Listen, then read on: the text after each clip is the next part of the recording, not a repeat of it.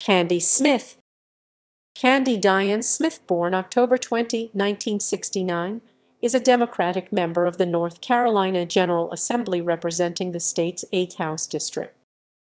Education and early life Smith obtained a bachelor's degree from Charleston Southern University. Greenville City Council Prior to her election, Smith served on the Greenville City Council, representing District 1.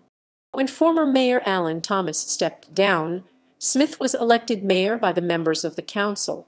She served as mayor until the next election took place in November 2017, where she won re-election to the council, again serving District 1.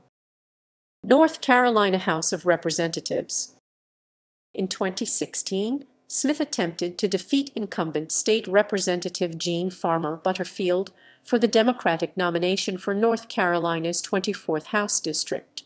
Farmer Butterfield defeated Smith. In December 2017, after incumbent Susan Martin announced that she would not run for re-election, Smith announced she would run for the 8th House District. Smith defeated Pitt County Board of Education Chair Mildred Council and retired U.S. Army Captain Ernest Reeves, receiving 50% of the vote. Smith went on to face businesswoman Brenda Letchworth Smith. Smith defeated Letchworth Smith, securing 64.6% of the vote, while Letchworth Smith only secured 35.4%. On January 1, Smith was formally sworn in.